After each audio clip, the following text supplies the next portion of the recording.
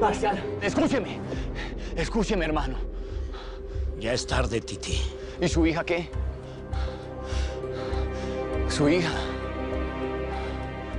Mi hija. Una hija que me desprecia, que me trata como una basura, que no me reconoce como papá. Ella lo quiere. Que no se lo demuestres otra cosa, pero lo quiere. Quieto. No se me acerque, Titi. No quiero que lo culpen de mi muerte. Me van a bailar. Hagamos una cosa, Marcial. Me escucha. Y luego se puede lanzar al vacío, se puede ir al mismísimo infierno. Y le prometo que le hago un entierro, pero escúcheme.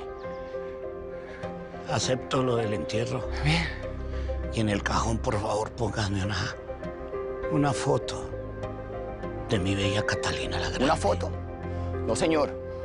Le voy a poner un afiche en hilo, en hilo dental. No, se lo va a poner desnuda, en bola. ¿Usted se acuerda, Marcial, del par de senos que tenía Catalina? Pero era muy bella, ¿no? Ah, Era muy hermosa.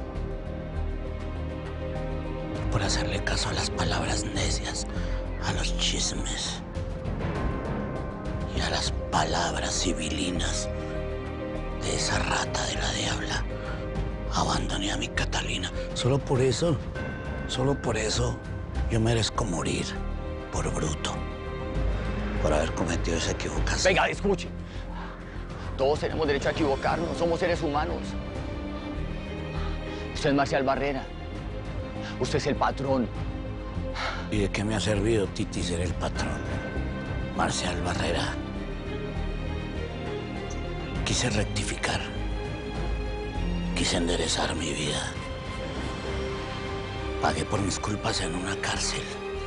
Hice un trato con la TEA para entregar a la diabla. Y ahora míreme. Soy un desecho, soy un despojo humano.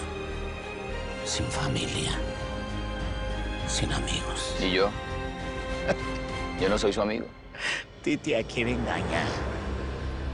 Usted está conmigo para que yo le haga favores. La